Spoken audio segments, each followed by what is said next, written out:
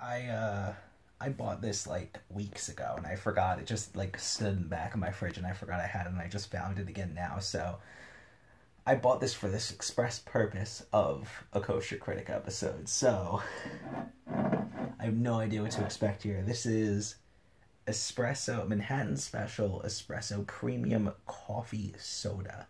Now this can just smells like black coffee. But this could be one of two things. It could be a delicious, like almost like coffee ice cream esque flavored soda, which I doubt because of the color.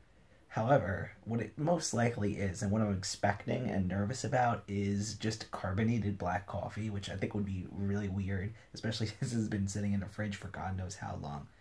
But you know what? The only way to prove if this is good or not is to try it. So I'm going to suck it up, no matter how bad it might be, and give it a shot. So without further ado, let's down this bad boy.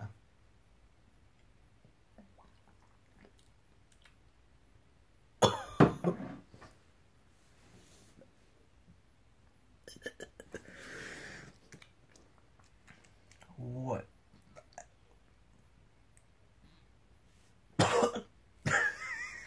it's so bad. It's like, it's sweet, but like sickly sweet. I don't know how to explain. It's disgusting.